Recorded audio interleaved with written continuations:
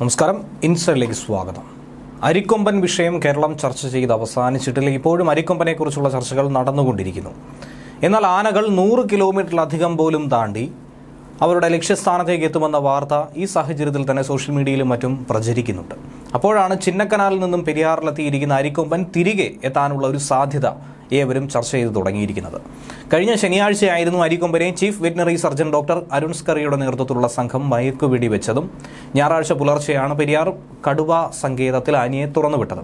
ഇപ്പോൾ ആനയുടെ ആരോഗ്യസ്ഥിതിയെക്കുറിച്ചുള്ള പരിശോധനകളും മറ്റുമൊക്കെ ദൂരെ നിന്നും വീക്ഷിക്കുന്നുണ്ട്. കഴിഞ്ഞ പതിനെട്ട് വർഷം കൊണ്ട് നൂറ്റി എൺപതിലധികം കെട്ടിടങ്ങൾ തകർത്തും പതിനൊന്നിലധികം ആളുകളുടെ ജീവൻ അപഹരിച്ചും ഒട്ടനവധി പരാതികളാണ് അരിക്കൊമ്പന്റെ മുകളിലുള്ളത്. വനംവകുപ്പാണ് ഇതേക്കുറിച്ചുള്ള ആധികാരികമായ വിവരം പുറത്തുവിടുന്നത്. അതേസമയം ഈ ആനയ്ക്ക് ആരാധകരും വളരെയേറെയാണ്. ആനയെ കൊണ്ടുപോകുന്ന സാഹചര്യത്തിൽ പോലും പലരും ഏങ്ങലടിച്ച് കരയുന്നതും അതുപോലെ തങ്ങൾ ഇവിടുന്ന് മാറിക്കോളാം അരിക്കൊമ്പനെ ഇവിടെ നിന്ന് മാറ്റണ്ട എന്ന് പല പ്രദേശവാസികൾ പറയുന്നത് മാധ്യമങ്ങളിലൂടെയും മറ്റും പുറത്തു വന്നതായിരുന്നു. റേഷൻ കടകൾ തകർത്ത് അരി കട്ട് തിന്നുന്ന ആനയായതുകൊണ്ട് അരിക്കൊമ്പൻ എന്ന പേര് നാട്ടുകാർ നൽകുകയും ചെയ്തു. ഇപ്പോൾ അരിക്കൊമ്പനെ നാട് കടത്തിയിരിക്കുന്നു. സ്വന്തം സ്ഥലം സ്വന്തം അമ്മ മരണപ്പെട്ട സ്ഥലം സ്വന്തം കൂട്ടുകാരും ഉറ്റവരും ഉടയവരുമുള്ള സ്ഥലത്ത് നിന്നും പറിച്ചു മാറ്റപ്പെട്ടിരിക്കുന്ന ഒരു സാഹചര്യമാണ് ഉള്ളത് എന്നിരുന്നാൽ പോലും അരിക്കൊമ്പൻ തിരികെ ചിന്നക്കനാലിലേക്ക് എത്തുമെന്ന പ്രതീക്ഷ പലരും പങ്കുവയ്ക്കുന്നുണ്ട്. തിരികെ ചിന്നക്കനാലിലേക്ക് നടക്കുന്നു എന്ന റിപ്പോർട്ടുകളും നേരത്തെ തന്നെ പുറത്തു വന്നിരുന്നു. അരിക്കൊമ്പനെക്കുറിച്ചുള്ള ചില വാർത്തകൾ രാവിലെ മുതൽ കേൾക്കാനുമില്ലായിരുന്നു. നൂറിലധികം കിലോമീറ്ററുകൾ താണ്ടി ആനകൾ മടങ്ങി വന്ന ചരിത്രം പോലും ഉണ്ടെന്നും അരിക്കൊമ്പരെ ചിന്നക്കനാലിൽ നിന്നും പിടികൂടി പെരിയർ ടൈഗർ റിസർവ് വനമേഖലയിൽ തുറന്നുവിട്ട ദൗത്യത്തിൽ ഏറ്റവും പ്രധാനപ്പെട്ട പങ്ക് വഹിച്ച ഡോക്ടറായിട്ടുള്ള അരുൺ സ്കറിയ തന്നെ പറയുന്നുണ്ട്. അതായത് ആനകൾ ഇങ്ങനെ സഞ്ചരിച്ചു കൊണ്ടിരിക്കും ഒരു ദിവസം നാൽപ്പത് കിലോമീറ്ററോളം സഞ്ചരിക്കാൻ ഒരു ആനയ്ക്ക് സാധിക്കും. ഭക്ഷണത്തിന് വേണ്ടിയാണ് സാധാരണഗതിയിൽ അവ സഞ്ചരിച്ചു കൊണ്ടിരിക്കുന്നത് ഭക്ഷണം കഴിച്ചുകൊണ്ടായിരിക്കും അവ ചിലപ്പോൾ നടന്നുകൊണ്ടിരിക്കുന്നത്. അതുകൊണ്ട് തന്നെ അരിക്കൊമ്പൻ മടങ്ങി വരുമോ ഇല്ലയോ എന്നുള്ള ചോദ്യം ഇപ്പോഴും അവശേഷിക്കുന്നുണ്ട്. അരിക്കൊമ്പൻ തിരികെ എത്തുമോ എന്നത് പുതിയ സാഹചര്യവുമായി ഇണങ്ങിച്ചേരുന്നതിനെ ആശ്രയിച്ച് തന്നെ ആയിരിക്കും അവിടുത്തെ അന്തരീക്ഷം. അവിടുത്തെ കാലാവസ്ഥയും മറ്റുമൊക്കെ അരിക്കൊമ്പൻ ഇഷ്ടമായി കഴിഞ്ഞാൽ ഒരു കാരണവശാലും തിരികെ വരേണ്ടതില്ല. പക്ഷേ തനിക്ക് തന്റെ ആവാസ വ്യവസ്ഥ തന്നെ വേണമെന്നുള്ള ഒരു വാശിയാണ് മനസ്സിനുള്ളിലുള്ളതെങ്കിൽ ഉറപ്പായും അരിക്കൊമ്പൻ തിരികെ എത്തിയിരിക്കുമെന്ന് തന്നെയാണ് പ്രതീക്ഷിക്കേണ്ടത്.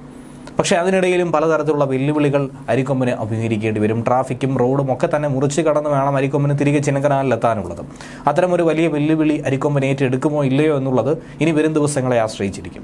വനത്തിനുള്ളിൽ തമിഴ്നാട് അതിർത്തിയിലേക്ക് പ്രവേശിച്ച അരിക്കൊമ്പൻ പിന്നീട് കേരള അതിർത്തിയിലേക്ക് തന്നെ മടങ്ങുന്നതായിട്ടുള്ള റിപ്പോർട്ട് നേരത്തെ പല മാധ്യമങ്ങളും പുറത്തുവിട്ടിരുന്നു. ഇപ്പോഴത്തെ അവസ്ഥയിൽ അരിക്കൊമ്പൻ അതിർത്തി വനമേഖലയിലൂടെ സഞ്ചരിക്കുന്നതായി തന്നെയാണ് മനസ്സിലാക്കാൻ സാധിച്ചിട്ടുള്ളത്.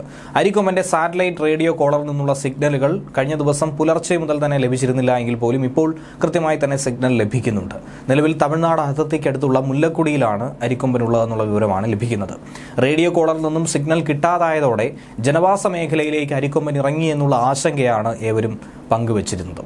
കഴിഞ്ഞ ഞായറാഴ്ചയായിരുന്നു അരിക്കൊമ്പനെ പെരിയാറിലെ ഉൾവനത്തിൽ തുറന്നുവിട്ടതും മൂന്ന് ദിവസം കൊണ്ടാണ് ഇരുപത് കിലോമീറ്ററോളം സഞ്ചരിച്ചു എന്നുള്ള വിവരവും ലഭിക്കുന്നുണ്ട്.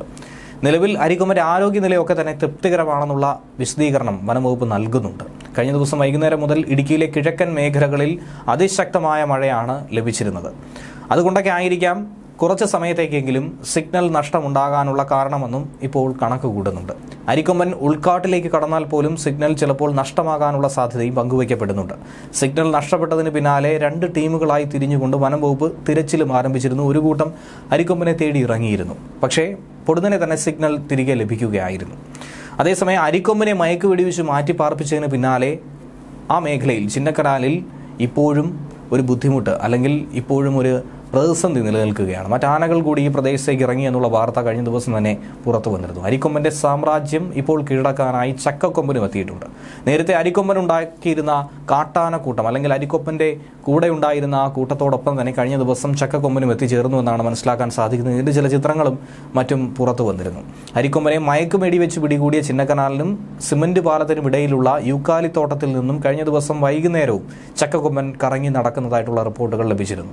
കഴിഞ്ഞ നാല് ദിവസമായി ഈ കാട്ടാനക്കൂട്ടം ഈ പ്രദേശങ്ങളെ കേന്ദ്രീകരിച്ച് തന്നെയാണ് നിലനിൽക്കുന്നത്. അല്ലെങ്കിൽ അരിക്കൊമ്പനുള്ള പ്രദേശത്ത് തന്നെയാണ് ഈ ആനക്കൂട്ടം ഇങ്ങനെ കറങ്ങി നടക്കുന്നതും. ഒരുപക്ഷെ സുഹൃത്തിനെ തേടിയുള്ള നടപ്പാകാമെന്നും പ്രദേശവാസികൾ പറയുന്നുണ്ട്. രണ്ട് ദിവസം മുൻപാണ് മതപ്പാട്ടിലായ ചക്കക്കൊമ്പൻ ഈ കൂട്ടത്തിനൊപ്പം ചേരാനായി തുടങ്ങിയത്. അരിക്കൊമ്പനെ മയക്ക് വെടിവെച്ചിട്ട ദിവസം പോലും ചക്കക്കൊമ്പൻ ഈ പ്രദേശത്തേക്ക് എത്തി എന്നുള്ള റിപ്പോർട്ടുകൾ ലഭിച്ചിരുന്നു. തിങ്കളാഴ്ച ഇവരെല്ലാവരും എത്തി ചിന്നക്കനാൽ വിലക്കിൽ ഒരു ഷെഡ് തകർക്കുകയും ഒക്കെ തന്നെ ചെയ്തിരുന്നു. ഒന്നര മാസത്തോളം മതപ്പാട് ഇത്തരത്തിൽ കാണുമെന്നാണ് ഡോക്ടർമാരും വ്യക്തമാക്കുന്നത്. അതിനുശേഷമായിരിക്കും ഈ കൂട്ടത്തിൽ നിന്നും ചക്കക്കൊമ്പനും വേർപെട്ട് ഒറ്റയാനായി മാറിപ്പോകാനുള്ള സാധ്യതയുള്ളത്.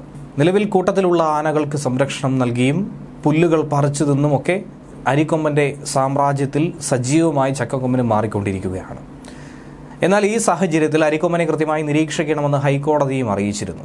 റേഷൻ കടകളാണ് കൊമ്പന്റെ ലക്ഷ്യം. ഭക്ഷണവും വെള്ളവും തേടി കൊമ്പൻ ചിന്നക്കനാലിലേക്ക് തിരികെ വരാനുള്ള സാധ്യതയുണ്ടെന്നും ഹൈക്കോടതി തന്നെ നിരീക്ഷിച്ചു. പുതിയ ഭക്ഷണ രീതി ശീലമാകുന്നതുവരെ റേഷൻ കടകൾ തേടി ചിലപ്പോൾ കൊമ്പൻ നടക്കാനുള്ള സാധ്യത ജനവാസ മേഖലയിലേക്ക് ഇറങ്ങാനുള്ള സാധ്യത അതൊക്കെ തന്നെ കൂടുതലാണ്. അത് പ്രത്യേകം ശ്രദ്ധിക്കണമെന്നും കോടതി അറിയിച്ചു.